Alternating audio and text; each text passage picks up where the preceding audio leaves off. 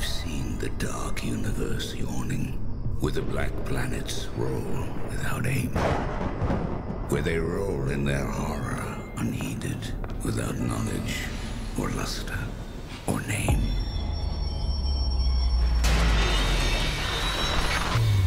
I have drifted o'er seas without ending that resound with hysterical cries,